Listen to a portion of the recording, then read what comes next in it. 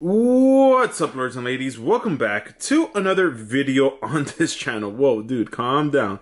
Now, right here in front of me, I got Floyd. Now, a lot of you guys may recognize him because he was the bearded dragon in which had all of those stuck femoral pores that I basically made a video talking about them as well as showcasing them. Now, I really wanted to make a video update on him because a first he was a rescue where I got him, and lately he's been going through this weird transition of shedding. And if you look at his femoral pores, well, dude, okay, calm down, calm down. Just trying to showcase the viewers. Hey, all right, all right, all right. If you see the bottom of his tail, he still has a little bit of those stuck femoral pores, as well as, well, dude, dude, dude dude, calm down. He's freaking out. He's definitely not enjoying this. But he also has a little bit of that stuck, what looks like some sort of sperm plug, which is kind of gross. And I'm just gently pointing this, like poking at it. I don't want to just yank it out. Yeah, this is kind of gross. Sorry that you guys have to see this. Um, but like I said, he was a rescue and I'm just gonna gently pull this out. It's not gonna harm him, but you could see. Well, dude, okay, okay, he does not like that. All right, dude. All right, all right, dude. I'm just gonna take this off, okay? Because it's, you know, it could get infected. So I'm just gonna pull this out, and it is not poop. Now, like I was saying before, sometimes male bearded dragons have complications as they get older. Some of these femoral pores sometimes get clogged. They can get also get infected, as well as sometimes male bearded dragons even get clogged up sperm plugs. And as you could see, he basically has one right here sticking out. So I'm just gonna gently pull it out. Now this isn't harming him, but it is somewhat gross. You could see that right there was that sperm plug that I was talking about. And bearded dragons have basically hemipenes running up the tail. Um, they actually have two hemipenes, which is basically a male's, you know what, like. What? so males have these two running up, and sometimes they get clogged up. In this case, I might be able to gently if I'm careful, almost squeeze. Now I'm just gonna gently massage this area because I do feel something hard, which shouldn't be there.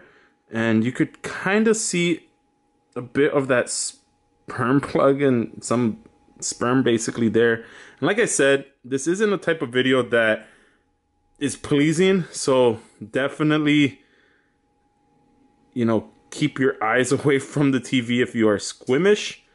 But yeah, I'm just massaging this area because it does feel a bit hard. But I got some of that stuck sperm that was basically there. Just gonna get the remaining out. I think this is what I was feeling. Sorry, dude. I know it's uncomfortable. Yeah, that right there. Um, and like I mentioned, not all bearded dragons have that. Some bearded dragons, they don't have issues with that but sometimes you would just run into bearded dragons who just get clogged up sperm plugs. And it's not a good thing for ball pythons. You could more or less take them out just by popping them. But with bearded dragons you really can't you know pop out their hemipenes but sometimes if you feel their tail it'll just be like a really hard rock is what I could basically explain these sperm plugs being. And for the most part, you could also take them in to the vet to get them checked out. But since that one was sticking out, I basically was able to take it out. And now these femoral pores, they also do look like they need some help. And I'm not to yank them out. I'm going to see if I can massage them at least now, like I mentioned in the past, you can soften these up through warm baths as well as help them out a little bit. But um, I just really wanted to showcase basically Floyd and his process. Um, I did manage to take off some of that, you know, stuck sperm. and unfortunately, sometimes males, especially through breeding season, they get that. And you know, for the most part, it doesn't cause them any harm. They can just easily take it off. But sometimes what ends up happening is it gets too hard and it, it basically could cause them to get infected. But this is such a rare case I would see in bearded dragons. You don't see it too often, but sometimes from time to time you do see basically that sperm, hardened sperm, basically just sitting off outside of the tail. So I just wanted to showcase that and make this quick video. Oh, sorry, dude. Hopefully you guys learned a thing or two. If you guys have any further questions, definitely let me know. I will be making an update video on that. But for now, I'm going to place him back. Um, possibly just take him a quick bath. That way he is nice and clean. But for that, that is it for this video. Hopefully you guys enjoyed it, learned a thing or two. I'm Lord Elion, keep the blood pumping, and I'll see you guys in my next video. Peace. You gotta hit that notification, hit that notification, hit that notification button, baby. You gotta hit that notification, hit that notification, hit that notification.